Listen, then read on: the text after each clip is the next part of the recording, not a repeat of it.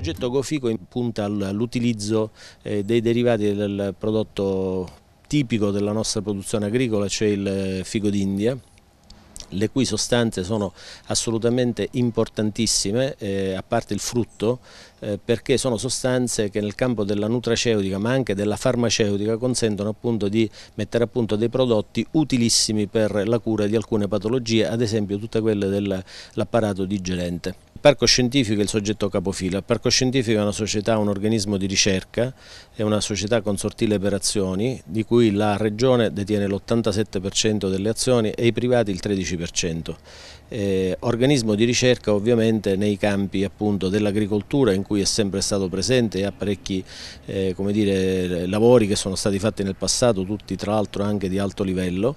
l'altro campo è naturalmente quello delle scienze della vita nel quale ci stiamo specializzando, sono come dire, i settori chiave strategici delle, delle strategie della Regione eh, per lo sviluppo del, del, futuro. Il progetto GoFico è un progetto finanziato con la misura 16.1 del PSR Sicilia 2014-2020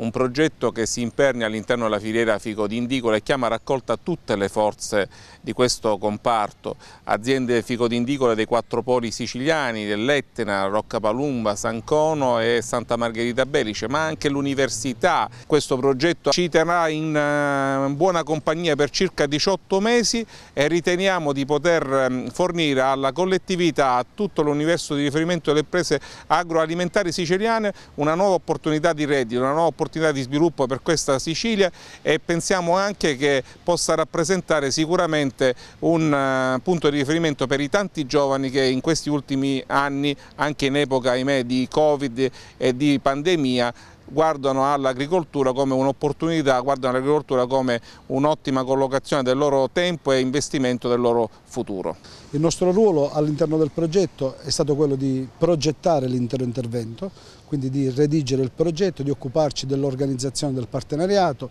e dei rapporti con gli enti pubblici. Questo nella prima fase. Nella seconda fase invece il nostro ruolo sarà quello di seguire da tecnici specializzati di filiera, quali siamo,